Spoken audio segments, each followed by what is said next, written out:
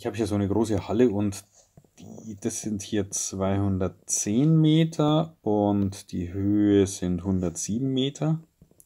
Das heißt, ähm, das ist 105 Meter.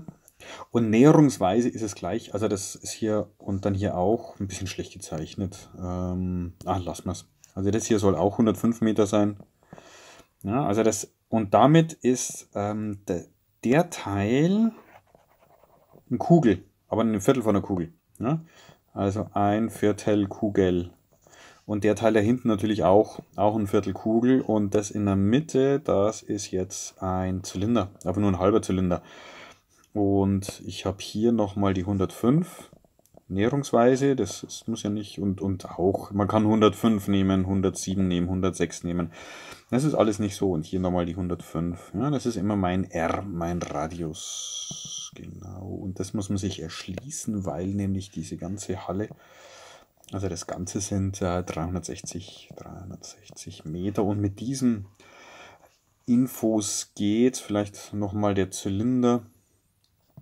Also beim Zylinder war der das Volumen r Quadrat Pi mal die Höhe. Ja, also immer die Grundfläche ist der Kreis r Quadrat Pi und Grundfläche mal Höhe, das ist auch beim Prisma so.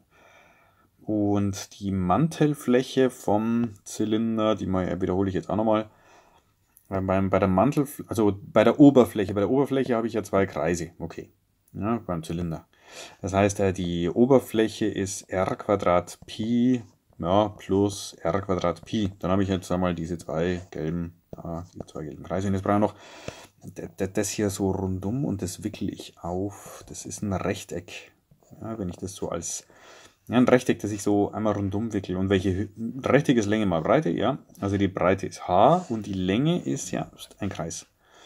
Ja, also u gleich 2r Pi. Das heißt, hier kommt noch dazu plus Länge mal Breite, also 2rpi mal h. Ja, so Länge mal Breite, Rechteck, fertig.